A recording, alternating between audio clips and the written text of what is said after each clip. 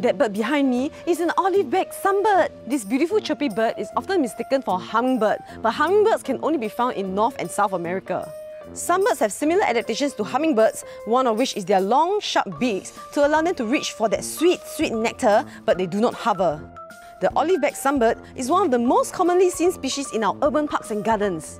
Female olive-backed sunbirds, as you can see right there, is a little bit dull in colour, Males, on the other hand, are olive green and yellow with iridescent blue on its forehead, neck and chest. This bird often appears in pairs on a bright sunny day, so do keep a lookout for them.